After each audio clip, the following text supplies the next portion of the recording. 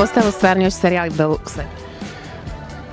tak to bolo zaujímavé tým, že tam vlastne sú to epizódky a v jednej tej epizóde príde taká cházka, taká skupina ľudí do toho luxusného hotela, ktorá ale dovtedy e, spravovala len nejaký penzión.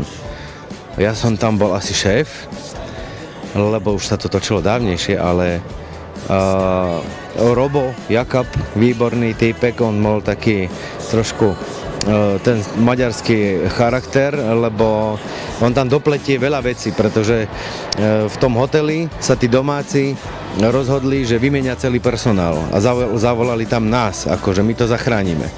No áno, aj kuchárka, ktorá varí masné jedlá, Gabka, Gabika Dolná, a, a tak a celá, tá, celá tá zostavička je vlastne e, taká sama o sebe vtipná a je to veľmi dobre napísané a mne sa strašne ten diel páčil, takže som bol, som, som veľmi tešil na to, že sme to, keď sme to robili, že sme to robili a že podľa mňa to aj bude dobrý diel.